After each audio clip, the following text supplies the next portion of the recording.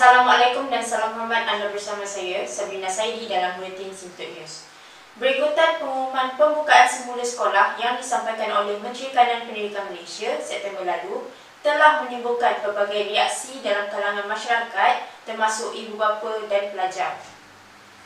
Pada 12 September 2021, Kementerian Pendidikan Malaysia telah mengumumkan pengoperasian semula sekolah mengikut sesi penggiliran dengan kapasiti 50% murid bagi pembelajaran bersemuka.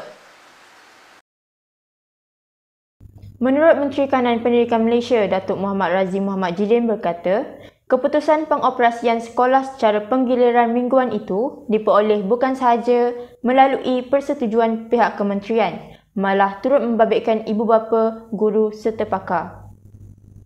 Beliau berkata, Sistem penggiliran yang dilaksanakan adalah bagi memastikan penjarakan fizikal terjaga serta memudahkan guru untuk memantau pelajar.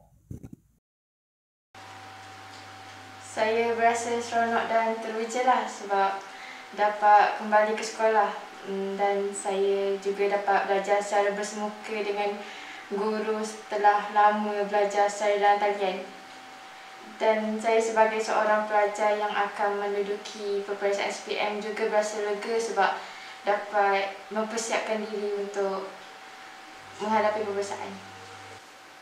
Sementara itu, Kementerian Pendidikan Malaysia juga turut mengingatkan pelajar agar sentiasa mematuhi peraturan penjagaan SOP bagi mengekang penularan wabak COVID-19.